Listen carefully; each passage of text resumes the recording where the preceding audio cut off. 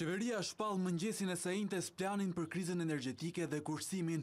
Masat u miratuan gjatë mbledhjes së sotme të Këshillit të Ministrave, por për shkak të rëndësisë së veçantë, do të komunikohen për publikun vetëm nesër. Të shtyrë drejt kursimit, si familjet shqiptare, ashtu edhe biznesi dhe vetë shteti do të vuajnë disa ndalesa, duke nisur nga fikja e dritave natën. aplikimi i ndriçimit publik i njësive tregtare dhe gjithçkaje tjetër ndodh nga ora katër pasdite deri në orën dhjetë të darkës.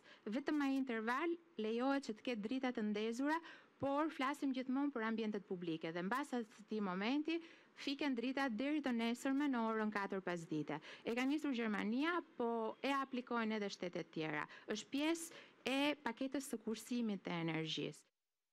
Nesër do të mësojmë gjithashtu çmimin e energjisë për konsumatorët që do të kapërcejnë fashën tetëqind kilovatorëshe.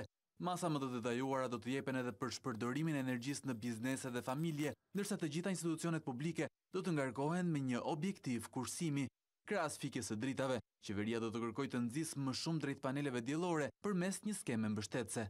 Për të kontrolluar respektimin e masave në terren nga një tetori, do të angazhohet Task Forca e Posaçme për Energjinë, që do të inspektojë edhe ndërhyrjet e paligjshme në rrjet.